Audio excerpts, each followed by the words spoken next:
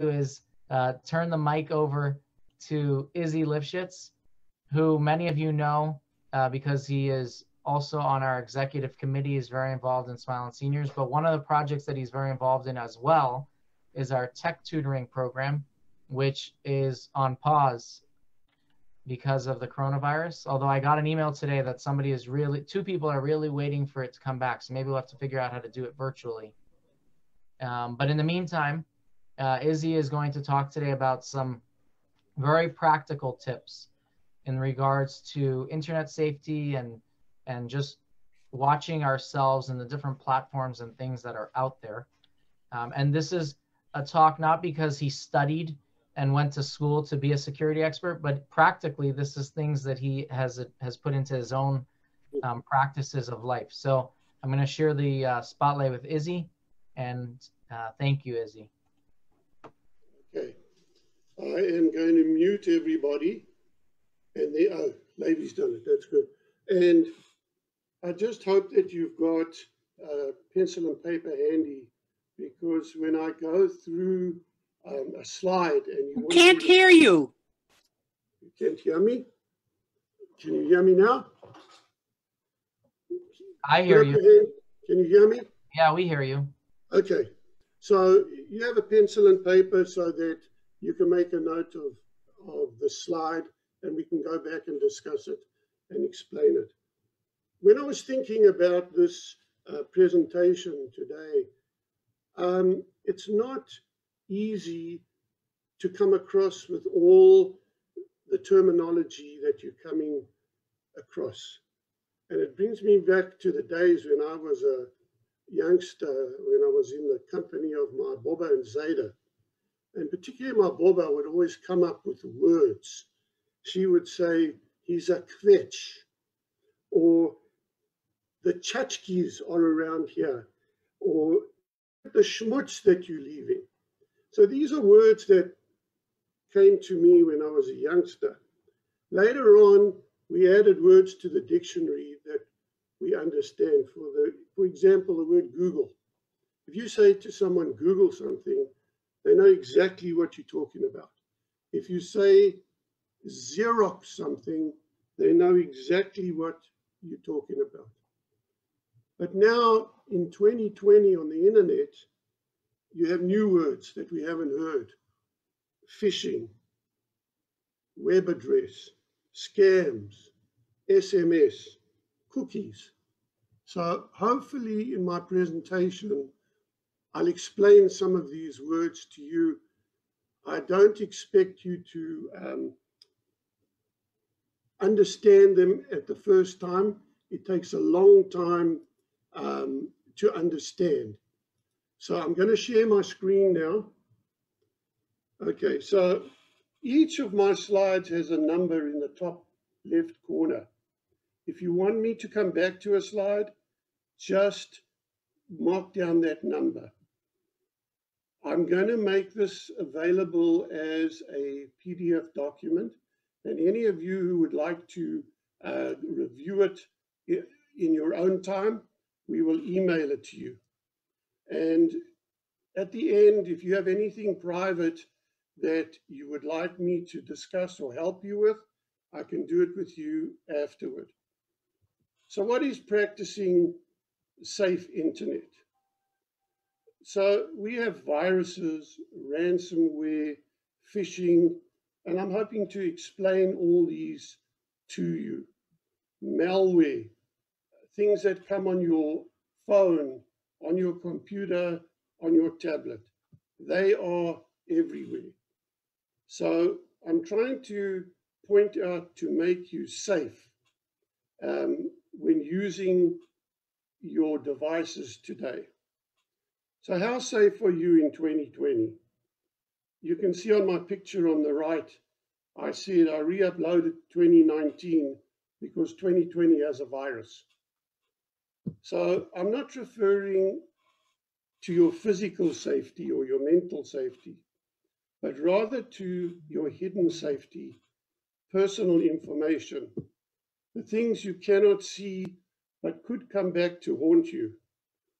So I've been involved in technology since the mid 70s, and I've seen the growth of technology as well as its inroads into our personal lives, things that we take for granted that we shouldn't. And the views and opinions I express today are mine, based on many years working in tech, working with people, working with real people, and seeing where the technology has helped and where it's invaded our privacy and stolen from us. So I'm going to start with a little poem. So once upon a time, when Windows was just a square hole in a room and an application was something written on paper, when a keyboard was a piano and a mouse was an animal, when a file was an important document and a hard drive was an uncomfortable road trip, when cut was done with a knife and paste was done with glue, when the web was a spider's home and the virus was a flu, when Apple and Blackberry were just fruits, that's when we had a lot of time for family and friends. I really like this because it really describes what's going on here. So what's going on here? How safe are you? How safe is your personal information? At the top level, I would say that the IRS and Medicare are the most secure as they have the most complete information about you. They know everything. The government's computers are so old, they are difficult to hack. So we must accept that our information is safe here, even if you feel your constitutional rights have been infringed upon. But what about other places that have your information? So on the second level, I put banks and credit card companies. They also have all your personal information, yet their networks are a target and they still get breached and information stolen. What is a breach? These are the smart Alex sitting in a darkened room in front of a bank of computers that are programmed to scan the World Wide Web for any vulnerabilities 24 7, 365 days a year. Any tiny crack will allow them entry into a computer and copy data within a couple of minutes.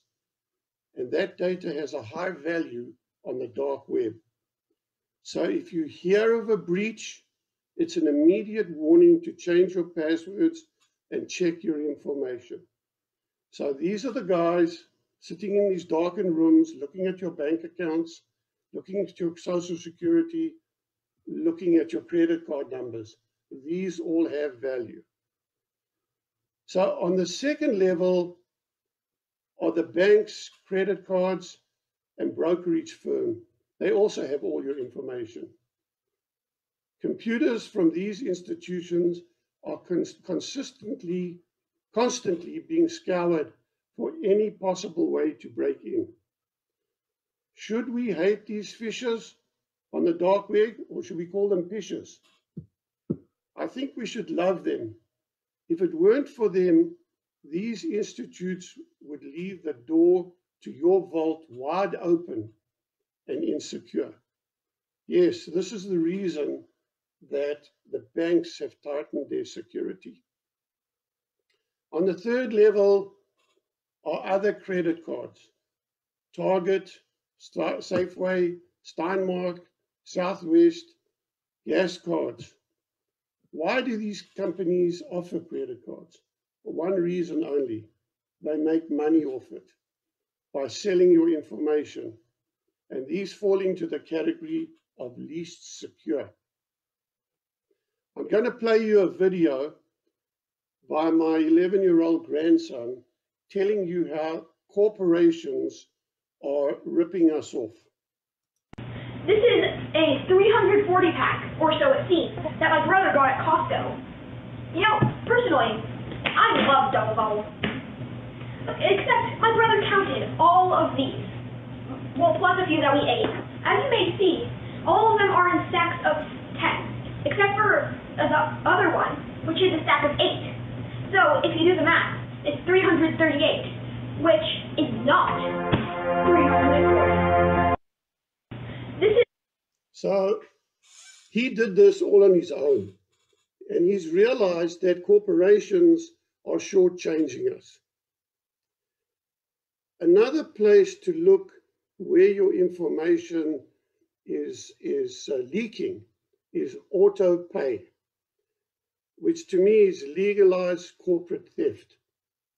So auto, auto pay is fantastic. You can auto pay your electricity, you can auto pay your uh, phone bill, you can auto pay the gas bill, but this gives the company the right to bill you forever and ever without without any consequence.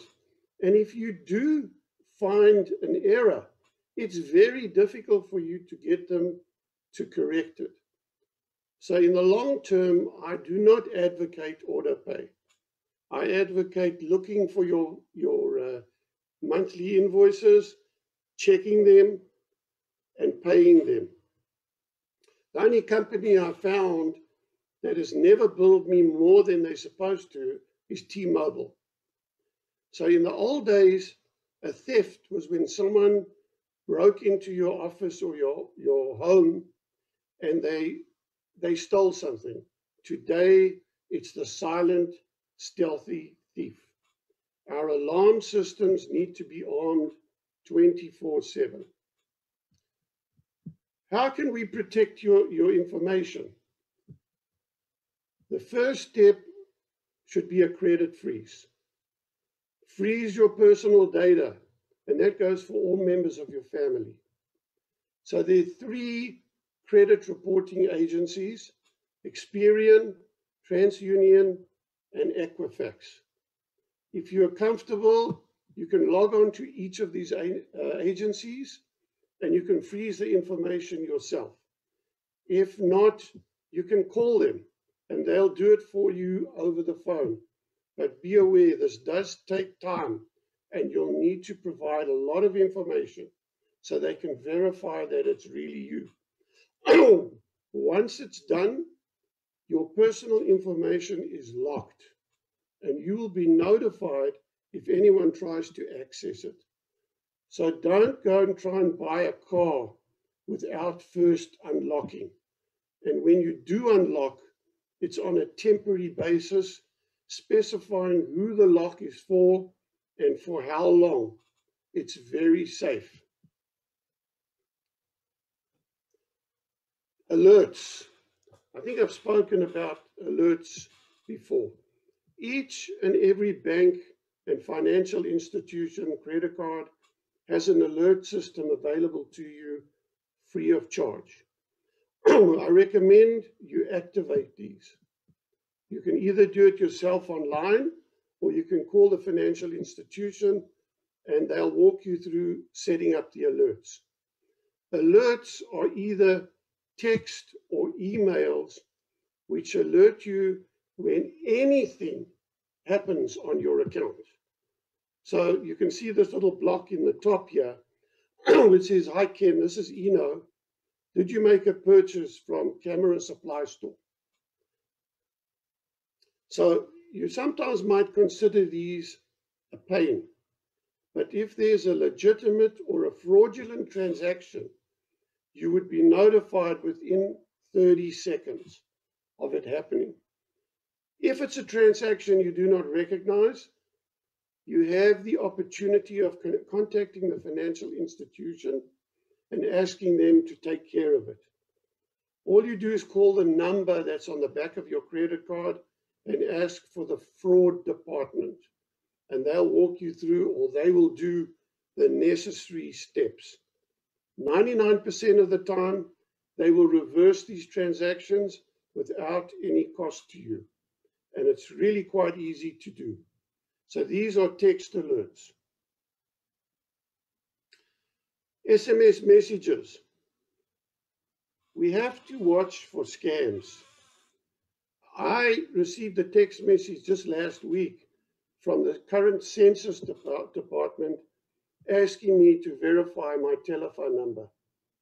Well, the census department's never going to text me. They don't even have my telephone number. So you've got to be careful. Remember, the IRS, Apple, Microsoft, Medicare, a financial institution will never contact you via text message, email, or phone to ask for personal information. They will always contact you using regular mail. So just the other day, I got an, a call from Apple telling me to stop using my Apple devices until I call them. The funny thing is, the only apple I have in my house is one that I can eat. So on the right hand side, you can see here a sample text message. Your Apple ID is due to expire.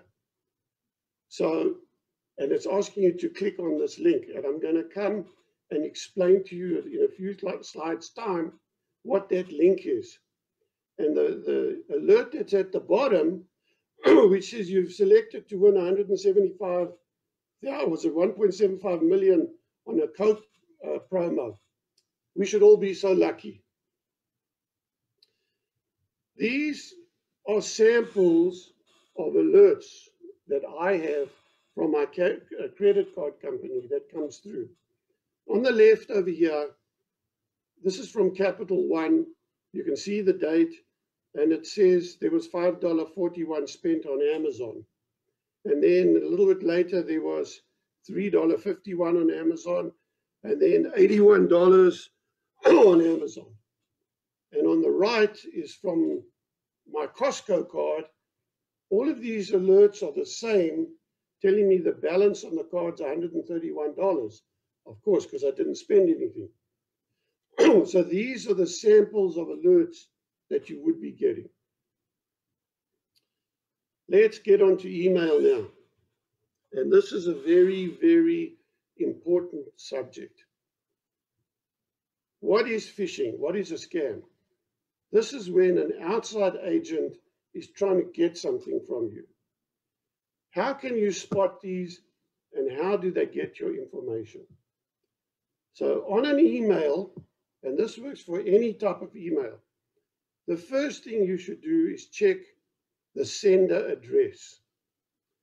If the sender address is unknown to you, be careful. Do not open the email, delete it.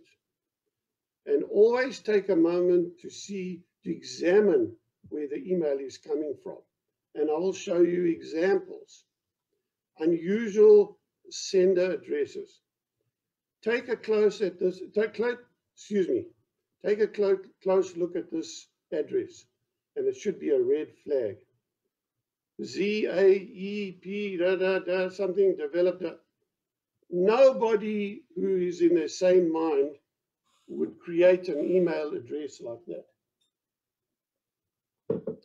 The key also is to look at the last letters on the right hand side of the email address which you can see in this case is .eu. And that's telling me that there's someone in, the, in Europe is sending me this message. And I've highlighted some other extensions. JP would be Japan, MX would be Mex Mexico, um, IL would be Israel, KR would be Korea. if you're ever unsure where these orange origins are, you can always Google it.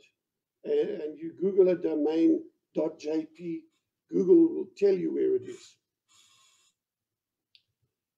Next thing, when you get an email, is to look in the body of the email. Today, a lot of emails contain pictures and graphics. And what the scammers do, they place a tracking bot in the picture. A tracking bot is a piece of computer information that when you click on the picture, it starts to collect your information. You can see it, you can hear it, you, it, you don't even know that it's working. so many of these emails, they look perfect. And So you need to check, and I'm going to show you some examples of what to look for.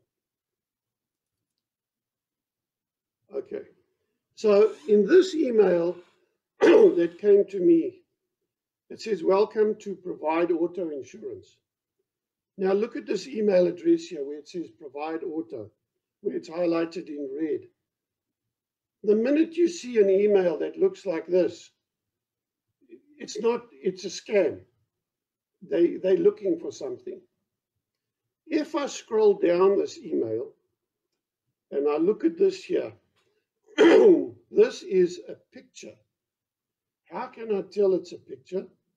If you look very closely, particularly where it says start here, you'll see there's like little grainy dots. That's the dots of the picture. So the other way you could tell if it's a picture is if you try to copy and paste these words, you can't do it. So you, you've got to be careful in looking at it. When I go further down, I start looking here and it gives me, excuse me, it gives me an address. Next to the address is this button that says unsubscribe. Do never, never, ever unsubscribe. That is activating the bot in your email. Anywhere you see there where it says, in the next highlight where it says, just tell me, same thing. If you go down this email, now you'll see the garbage that's, that's in the email. So you can tell that this is a scam. So I'm going to go to another one. Burial insurance. Same thing. Have a look at this email address that's highlighted there. It's, it's complicated. Nobody's going to make an email address like that. the same thing when you look at this blue $1 buys you $100 million or whatever it is. That's a picture. And when you go further down, there's the key where they're asking you to click on something to take your information. And the body of the email, again, has junk. Where does registration? Let's go to the next one. ADT, a very well-known security company. Have a look at the email address. The end of this email address says .org. .org. .org is usually reserved for a charitable or non-profit organization. So it would never come from a company. Scrolling down through the picture,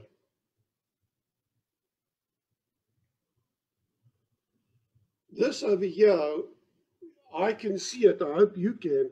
If you look at it, there's little tiny dots on it. It's not text, it's a picture. It's not text. And again, when I go down, there's the key, unsubscribe here. Do not touch that button.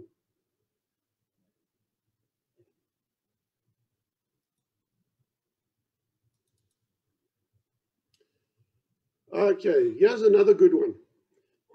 this is when I've won something. So the first thing is look at the email address. I also have a look under that at the other people who were in there. And if you look at the two letters that are after the period, there's .ch, which is Switzerland, .jp, which is Japan, .uk, which is the, the United Kingdom, uh, .ru, which is Russia. So I have been included with all of these people who are getting the same email. Again, confirm your information. No way. Never ever do that. So the bad thing about this email is that they do have my email address. I don't know how they got it, but they do have it. But I haven't given them anything back over here. Okay, Geico. Again, look at the email address. This is not a Geico email address. When you go down, get a quote is a problem. And here you get the links that you click. Why would you have coupon tickets for Geico insurance?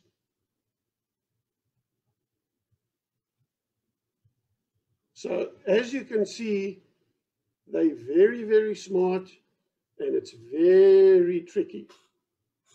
I'm just going to take a sip of water.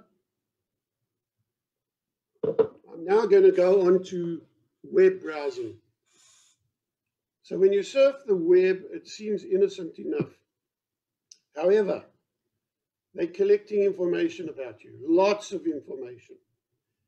Have you ever seen on the website, it comes up and it says, this site uses cookies, blah, blah, blah, blah. Okay, so what is a cookie? It's not something you can eat. So a cookie is to help the website keep track of you, keep track of your activity, which isn't a bad thing. For example, if you shop online at Amazon or whatever, they use cookies to keep track of what's in your shopping cart. They use cookies to keep track of what you've purchased before. They use cookies to keep track of, say, you might like this. You understand? But cookie, oops, sorry, I jumped.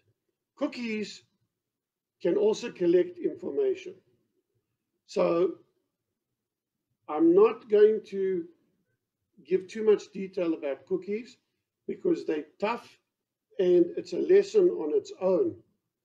And cookies reside on your computer, your tablet, your cell phone, every single device.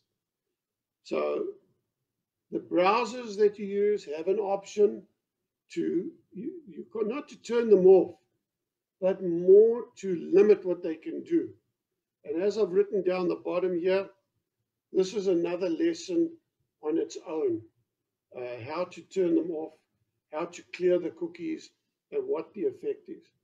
Uh, just a quick note, if you go and clear cookies, the next time you log into your bank, for example, where you used to have your username come up, that'll be gone. When you'd have to enter it again. When you log, log into Amazon, it's going to ask you for your username and password again. That's what happens when you get rid of cookies. So when you open up a web browser, this is technical. When I go to permissions, these are the files that look like cookies. And on the right-hand side, it gives me the option to remove all or to remove particular ones. And again, I'm not going to dwell too much on this, but these are the options that they allow you to have. A web address. I would like to explain to you what a web address is and how to look at it, because this is actually important. The same way as you have a social security number or you have a telephone number, that is dedicated to you directly. Um, the same on the internet. A web address is dedicated to one particular place. If you want to go to CNN you want to go to Apple, you want to go to Amazon, you, you put in amazon.com, the computer translates it and takes you there. So when you look at a, a, um, a web address, the HTTP, which is the protocol, there are two types, HTTP, and if you look below, HTTPS. The difference is the S means secure, secure be very aware on the internet if you buy something and you get to the shopping cart and it does not say HTTPS. It is an unsecure site. Very important. So when you, uh, uh, just briefly on a web address, HTTPS is the protocol, www is the World Wide Web, Google will be where I want to go to, .com is the extension, .org, .jp, .whatever, and index.html is a particular file or you want to look for something and that becomes complicated. So remember, you all when you're shopping, you always want to make sure you look for HTTPS. So what is a safe web address? In the top over here, this is uh, Amazon Smile. So the first thing is I'm looking for that lock. That lock must be closed. That means this is a secure site. So the second one, if you can look at it, is capital one. The lock is closed. So if it's locked at the bottom, it's safe. If it's red or unlocked, it's an unsafe website. Fake web addresses. Well, if you have a look at this one very quickly, it looks like http steamcommunity.com. But if you look carefully, the word community is spelt incorrectly. And that is a key that this is a fake web address. And again, this, this uh, um, computer had um, anti-spam software, so it marked, as, as, marked it as unsafe. But you have to look at that. And I'm going to show you more. Facebook. When you look at Facebook over here, it looks good. It looks, they've stolen the exact colors of Facebook, the font, and everything. But when you look at the, uh, the web address carefully, look at the top what it looks like. This is not Facebook. If it was Facebook, it would say www.facebook.com slash something else. So this is a phishing website, fake website. If you look at this one very carefully, what have they done here? It's not Facebook, it's Face Look. Again, it's spelled incorrectly. Got to be careful. Ah, Amazon. Looks perfect if you've shopped on Amazon. But have a look in the red box. It doesn't say Amazon, it says Amazon X. So people are grabbing names, they changing the names to look very similar and using them as their websites. And I don't know how many people have seen this. Your computer's been locked because you've been watching uh, pornography, blah, blah, blah, and you need to pay them $200, but it has to be from a card from CVS, Kmart, Apple, or whatever. This is just phishing a scare tactic. Please do not fall for it. Please do not fall for it. Fake messages. So here, your computer might also give you um, uh, another way of, of uh, describing an unsafe or fake website. Get a message. I'm going to now touch on logins and passwords. Uh, each and every website you log into requires a username and password, which is a necessary evil. So how do we keep sanity with all of this? subscribe to a password program, a paid program. The information you are storing in these programs is too critical for a free program. And these would be something like Keeper or Dashlane. And I'm going to come and show you these. When these are set up correctly, the information is available on all devices, computer, tablet, and phone. Use these programs to, store, to store information about logins, websites, anything.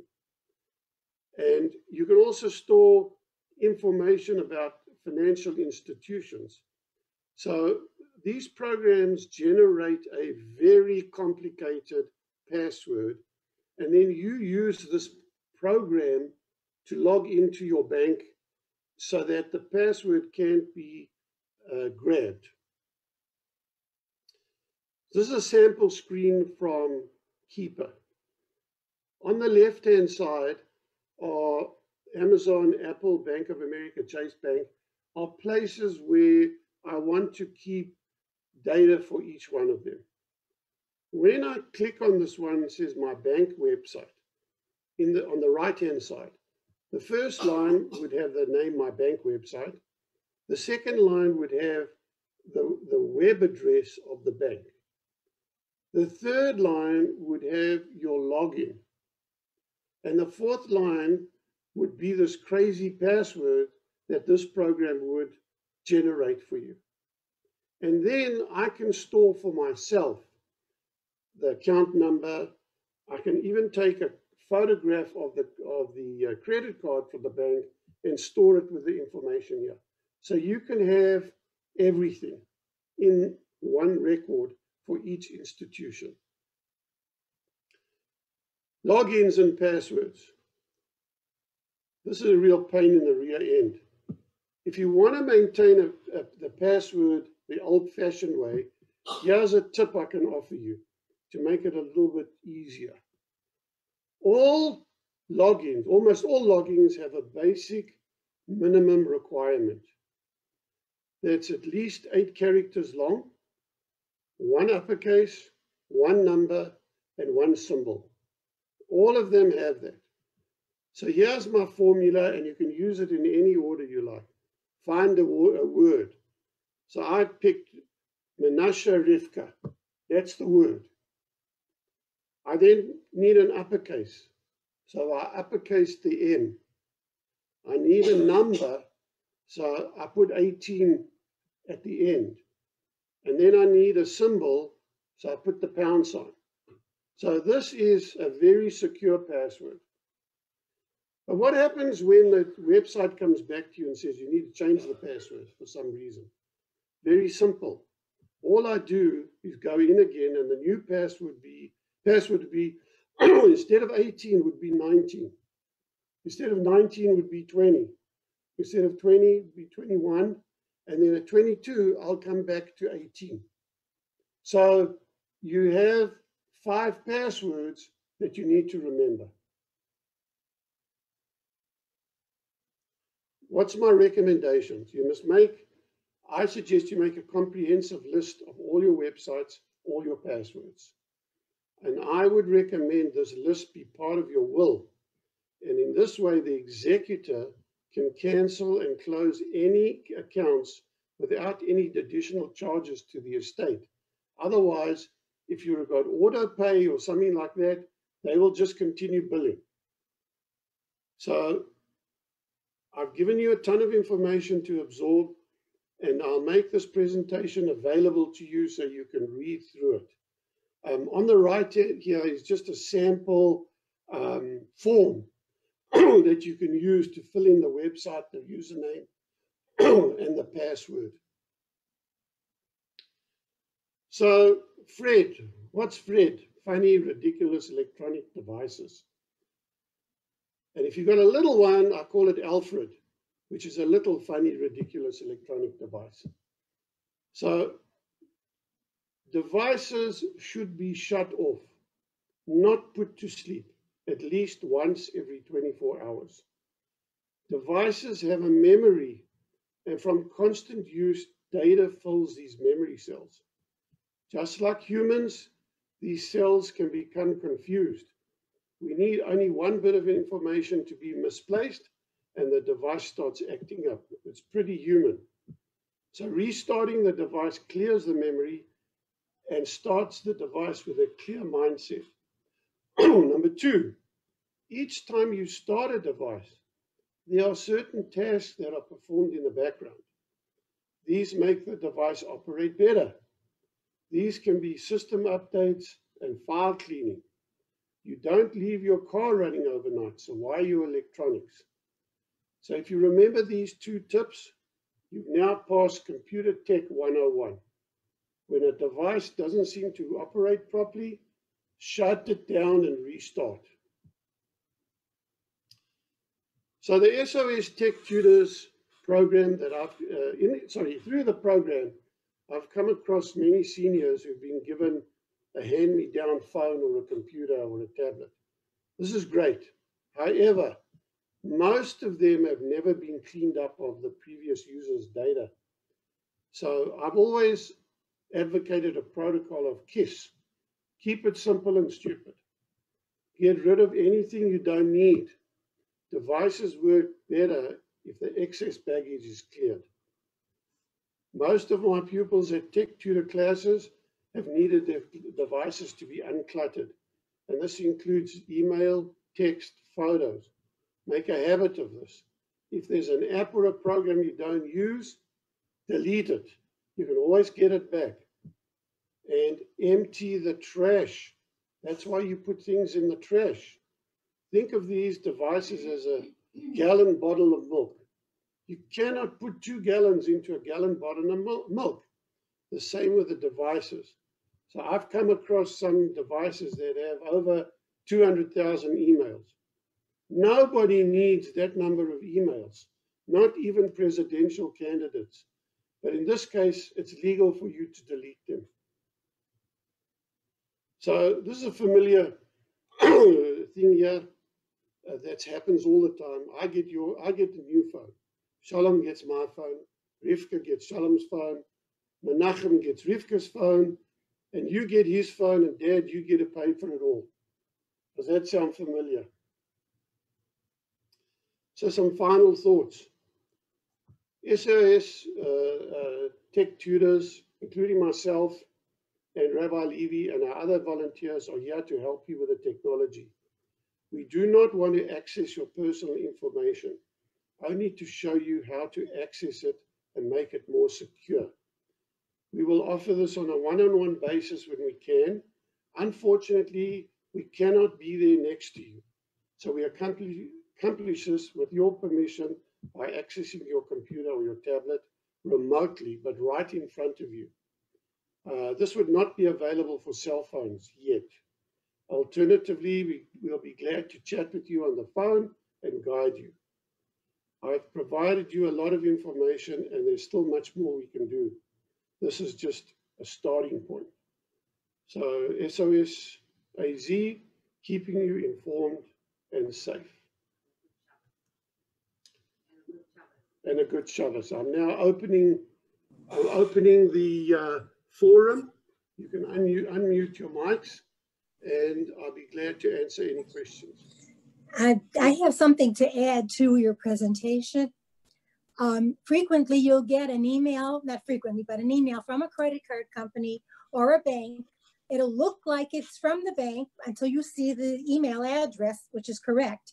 But instead of just deleting it, I will call the credit card company or the bank and offer to forward that email to them to their fraud department so they can do a check. You can do that, right? Exactly. The other thing you can do as well is each and every one of these institutions, for example, Bank of America, if you reply, if you forward that email to abuse at Bank of right. America, it goes to the same department, abuse at Citi Cards, abuse at Capital One. So it's the same thing. Thank you, Rhoda. Oh, you're welcome. I have a question, uh, two questions actually. We use Norton uh, antivirus and is that, I didn't hear you say anything about that type of system. Is that recommended by you? I actually have it listed in a couple of slides that I've left out. Ah. yes, I use Norton. Um, I've been using Norton for, I'm not sure, 20 years. And um, I find it as good as any, but it's still not complete. It still doesn't catch everything. You still have to be vigilant. Yes, a good antivirus program is a necessity. Right, There's the also anti-malware programs that you can get for free. Right. The other and question they do work. I have, I have them. The other question I had was about the PayPal. Uh, I maybe misunderstood what you said. When you said, are you advocating paying bills over the computer? Are you saying you should go back to the old system of writing a check? No, there are, um, I've discussed it before. There are ways today to securely send money to people um, for paying of bills. So number one, uh, if you're uh, with your bank, your bank should have um, a section called bill pay. Mhm. So in bill pay, bill pay is 100% secure because if you tell the bill to pay your electric bill on a certain date, but it doesn't get there and you get a penalty from the electric company for a late payment, the bank is responsible. So that is a good way to, to, um, to pay the bills uh, using bill pay. Uh, the other way is what happens if I owe you $40 and I want to pay you $40? There's a system that almost all the banks have called Zelle. Zelle. Z E L L E. Yep. So once you have set up Zelle between me and you, I can send you money. Z. So I send money to my kids. Um, I just use Zelle and it goes, they get a message. It's either, they get either a text message or an email that'll say you've been sent $50. And when they click on it, it automatically goes into their bank account. So the, the need for a check um, uh, goes away. Uh, I'm speaking to Carol Webner as well. So yeah, so paying uh, PayPal, PayPal is is is pretty secure. Mhm. Um, it's it's guaranteed. It's not guaranteed. It's backed up by your credit card because you have to put your credit card in PayPal. So PayPal is actually a mechanism to pay somebody. it's a mechanism to pay somebody, but you're still using your credit card. Right. Uh, just a quick jump in, Issy. Uh, besides for sharing the PowerPoint, can you share it in the chat now as a file? Um, you know what? I have to um, compile it as a, a PDF. I haven't compiled it yet. Oh, okay. It's a, just a As soon as. I've compiled it, um, tell you what I'll do. I'm going to put my email address in the chat, Okay, perfect. and let me do that now. And then a question that's in the chat. Yes. Someone uses WebRoot, which is provided by Best Buy. What are your thoughts on that program? I don't see that in the. No, it's a private one to me. So what is it called? WebRoot. WebRoot, and it's done by Best Buy, by the Geek Squad. It's an antivirus program. You know, I got to tell you something. The Geek Squad was great for my business when I was doing it because I used to pick up all the mistakes they would make. you know, it's, that's it's, it's maybe they've gotten better today or something like that. They use that um, Webroot because their technicians have been trained in it. I'm presuming it's a good one. I'm not familiar with it. I'm not familiar with it, but I presume it's should be okay. I have a question. Yes. Yes, Janet. Um, so I do a lot of auto pay through my um, Chase Bank, but Mhm. every single day, every day, I go to my um, Chase Bank and I see what's been deposited, what's been withdrawn, what checks have been cashed, et cetera, et cetera. So are you still saying that's not really a safe way to do it? No, not really. What I'm saying about auto pay is once you've given that company, um, the cell phone company or the T- or Cox or whatever it is, the, the, the authorization to bill you, they will just bill you. And then when you see a problem, it's after the fact. So the biggest culprit around here is Cox. You can be paying $80 a month for Cox, All of a sudden, one month it's 140. So when you call them, they tell you, oh, your, your um, uh, promotion ran out, or this or that, and then you've got to fight with them, whatever it is. Whereas I get Cox to email me the, the, the bill. I have a look at the bill. I see if it's correct. And then I go into either the, the bank or to Cox's website and I say, on the 8th of August, you may withdraw $57. That's it, one time. And I do that with everything. And the only reason I don't do it with T-Mobile is because they have a fairly decent discount if you have auto pay. But as I said with T-Mobile, it's the one company I found that never charged a dime more than the $70 a month contract. Never. Issy, I have a lot of auto pay accounts and I generally get an email prior to it being charged to my credit card or to my bank account. So I think that's a pretty safe way of knowing what is going to show up. If you if you've been using it for a while and you're happy with it, I'm happy with it.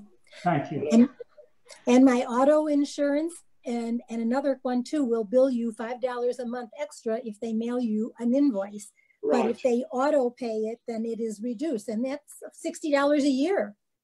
But So, but, but again, like that other lady, I check every single account every single day. Right. Uh, Rhoda, the other thing with insurance, I also have my insurance on autopay, but I get an email from them maybe a week or 10 days before they're going to draw it saying, Right. this is what we're going to withdraw.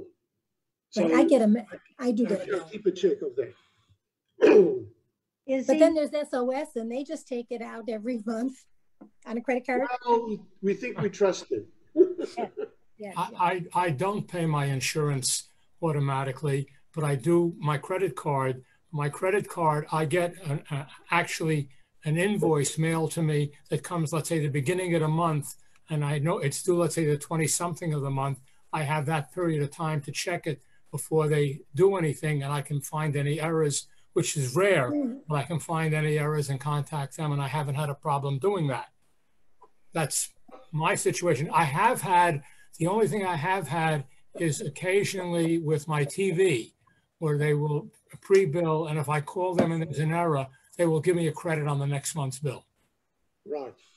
So that I've done, but, but that's also rare. The, only, the biggest problem I have is when we were away and we have something on hold and there's a, a monthly hold fee when you're away. When we were in Arizona, I have those charges. And I know that occasionally when I come back, there's kind of a bit of confusion and I call them and review everything to make sure that it's correct. But that's my system. It may not work for everybody. That's fine. It's good. is Yes, he, Elaine. you said something about don't press unsubscribe. Now Right. that's, you're talking about something that you don't know, where like I joined the Nutrisystems. Well, I quit it. I want to unsubscribe that. Right. That, that's Oh, good. That's okay. But again, I showed you some emails coming from legitimate companies, ADT, Geico. You, when you get that email from Nutrisystem, make sure it's Nutrisystem, Right. and then you can unsubscribe. Yes. Oh, Okay, Make sure it's new- because people um, to collect your information, they will fake the Nutrisystem email, webpage, whatever it is, and, uh, and and and take it away. So be careful. Again, I showed you in the presentation how to look at the address, uh-huh. and if it, the one from Geico was it was a classic. If you're going to get an email from Geico, it's going to come from Geico.com. If it comes from anywhere else, it's not Geico. So so be careful about that. Yeah, and a lot of things on Facebook that look very interesting to buy, and I've purchased a couple. Takes it takes months to get it. You've already paid, and it comes from China, and it's not even usable. I agree with you. I've also I've fallen prey once to uh, to a purchase on Facebook, and I challenged it with a credit card company. I bought a pair of shoes, and I Uh-huh. challenged it with a credit card company because it was the wrong size. So the people said, yeah, you can send it back and we will give you a new pair. It costs you twice as much. No, the shoes cost me $60 and I had to send it to Shenzhen in China, which Right. was $65. Right. And I said, no, eventually I fought it and fought it and fought it and they paid me back. So I was okay. And I still have the shoes. So now I learned to do it through PayPal if it's on, if it's on Facebook. Judy, I've been waiting for you. Well, every, thank you for an informative session, and I definitely picked up some, some um, tips from you. And you talked in such an easy to understand manner, because a lot of it is a little complicated. But every once in a while, I see something on an ad, and I uh, click on it, I maybe put my name on it, but then I get warning bells going off that I don't know, I don't like what they're asking me. You know, so I think one I remember, I think was um, uh, car insurance. So I just got off of it, but I didn't press submit. I'm wondering, did they still store some of the information? You, you know what? The web designers are much smarter than you think. When you put in your name and you finish that field, they collect the information one by one. You don't even have to finish everything. They'll they, they'll collect the information. So here's another little tip I'll give you. Go and get yourself another email address from AOL or Hotmail, doesn't matter. Mhm. And when you get to these websites and you don't want to give them your address, put in that other one. But if it becomes a website that you want to follow consistently, then you go into the website and say, change my email address, and then you put your real one in. So in that way, if they start spamming you, it's going to somewhere where you don't you don't care. So Yeah. have a backup email address, and don't put your name in the email address. You know, put put the Phoenix Lady at AOL.com or something Right. like that, so that they don't, don't let your email address give away any information about you. Very good. And um, on Zelle, I thought you could only do um, transfer money to people that had a Bank of America account. Can No. that be used for different banks now? You can do it to anybody, just about anybody. So To what I do, what I do with Zelle, if I'm going to send money to a person the first time, okay, let's say I want to send hundred dollars, um, I will create the Zelle account, and I'll send them one dollar, and then I'll find out did you get it, and is it in your bank, and then I'll send them the ninety nine because then you Okay. know you know that you've opened the channel to the right person. You understand? So on a new Zelle, send a dollar. Because if you're out a dollar, you're out a dollar, it doesn't matter. But don't send the full amount on the first time. You can you can always do that later. In order to do that, don't you have to um, have their bank routing number? No, no, no, no. When you, if I'm going to send you, Elaine, a Zelle transfer, when you get it, it's going to do two things. It's going to look, are you set up with Zelle? And if you're not, it's going to guide you through setting you, setting yourself up with Zelle to where you want it deposited. That's what you can do. So that's what it does. And then once that's done, it's done. Let me see. Zelle is quite easy. When we start going out with people, let's say for dinner or something, you've got to pay for the, the, the, the bill. You there and then you can send half the money to the other couple for the bill and they've got it. You don't have to worry about it. Right. How does Zelle, how does, always- do they, do- does the sender uh, get charged or does the receiver? There's There's no There's no charge. charge. There's no There's no No charge. charge. charge. No. There's no charge. Is You just need the, You've you just need the remember one- receivers. Yeah, sorry. Gerardo, You just ahead. need the receiver's information, either phone number or email that's connected That's to it. their bank. That's all you need. Okay, thank But you. How do they know which bank they have? If you go to your bank and put in transfers, it'll come up, just like doing a transfer. It, Right. it, it- it's listed under, instead of transfer uh, email, it'll come up uh, at the bottom uh, as a Yeah. Zelle. And you just go to the Zelle and click on and start the paperwork and it'll all itself automatically. I have a question, please. Yes. My name is Myra Baum, and uh, at, at this time, I've been getting to sign a, a lot of petitions. And when I I go and I sign the petitions, and they ask me I know. my zip code, my email, and something else. I'm not sure. I remember. Is should we sign these petitions? I don't mind. My, my rule of thumb is, if someone wants me to sign a petition, bring me a piece of paper. Bring me a piece of paper. I don't want to sign a petition, particularly now, the elections are coming up now. I'm getting email and text messages to log in and sign. I just ignore them. I do not, I do not sign anything for any, I don't know who it's coming from. And once you start giving them the information, you've had it. So if they, if, if, if, uh, if a candidate wants me to um, uh, vote for them or sign a petition or something, come to my house, make an appointment, bring me the, the, the form. I'll sign the form in front of you, but not on the web. I don't sign on the web. Yeah, I found them, yeah. A lot of that stuff is political now. Correct. Are you uh, supporting Joe Biden? Are you supporting Trump? Are you supporting this congressperson, that senator, that type of thing? Right. So there was, Free if old pie- Oh,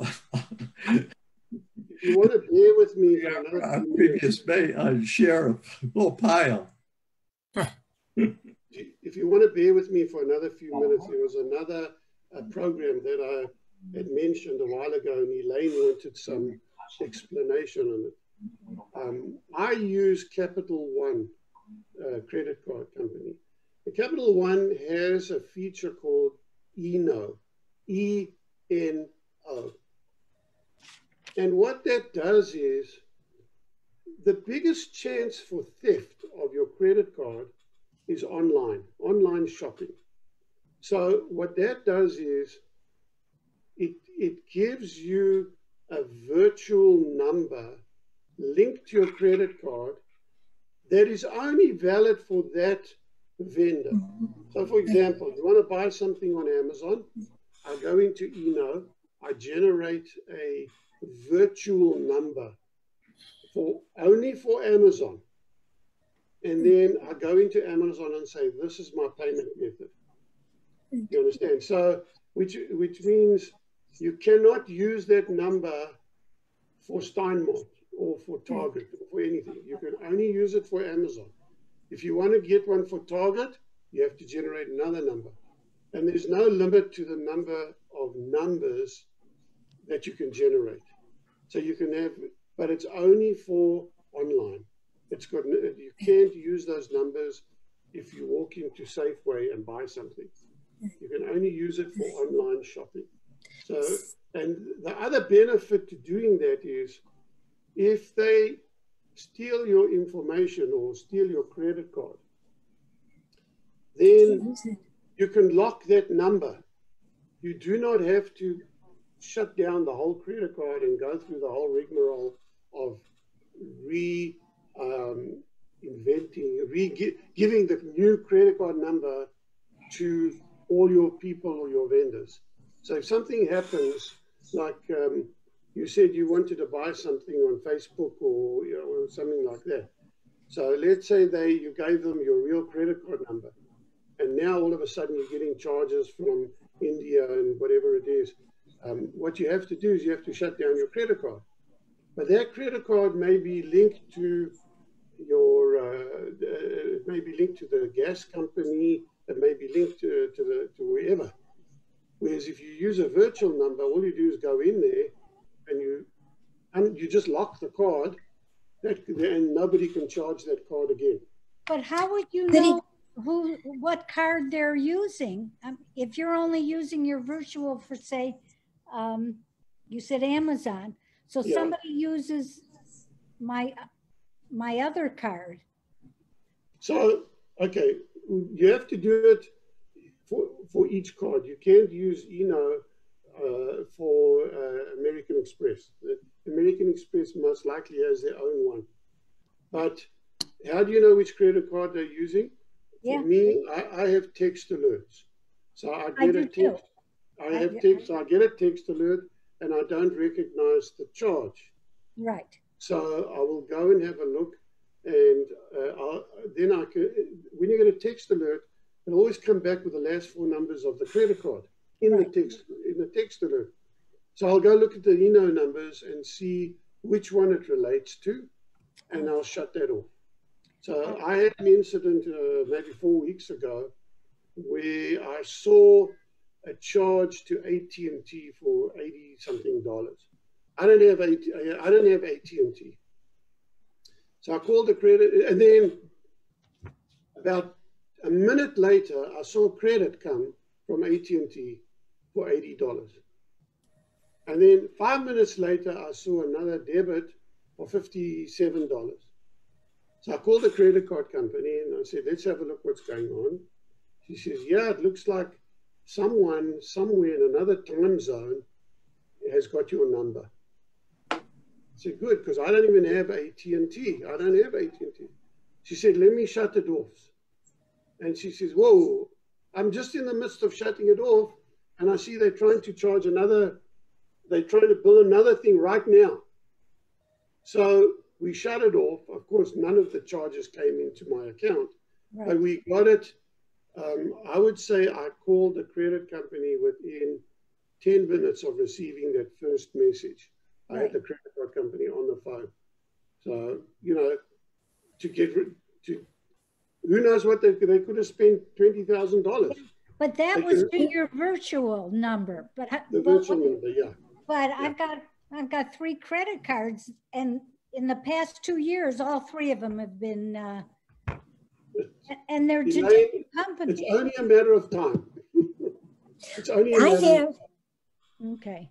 I have Citi Card. Now, Citi Card offers a one-time use anytime you want it, anywhere you want it. Yes. And so you can go to any different site and when they ask for your payment, you go to Citi Card and click one-time use only.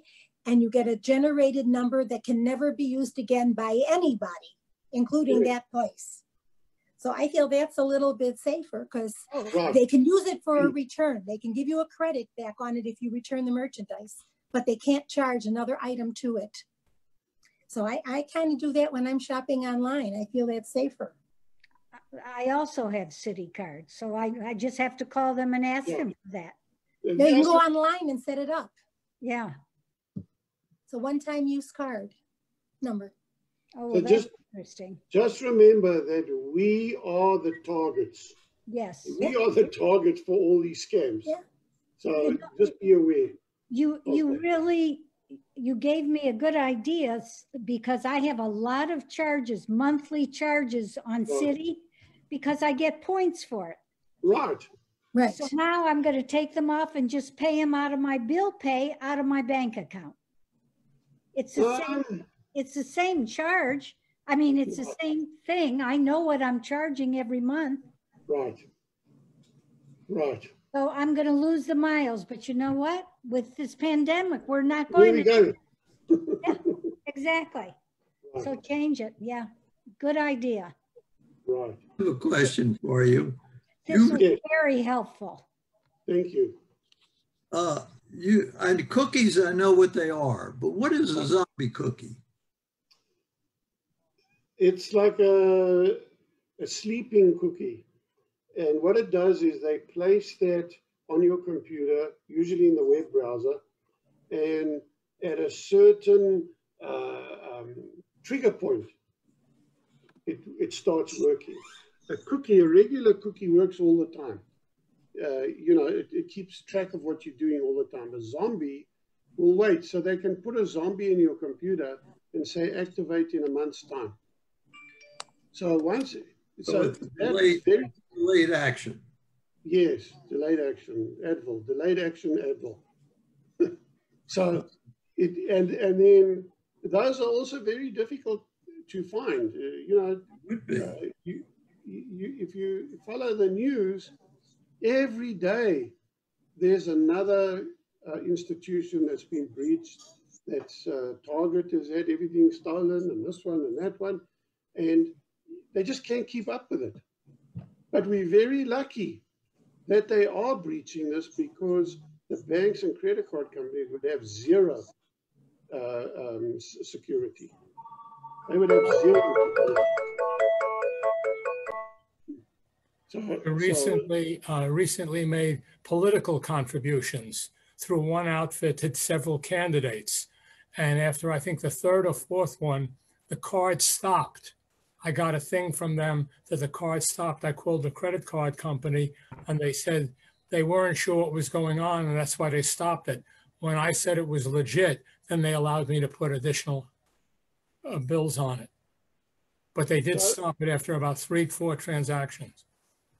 Another thing that the alerts will do, um, a while back, uh, last year sometime, we went to a restaurant and I paid the bill and I left a gratuity. I left a tip. The, the next, the, when the restaurants have your, your charges, they only go through the next day.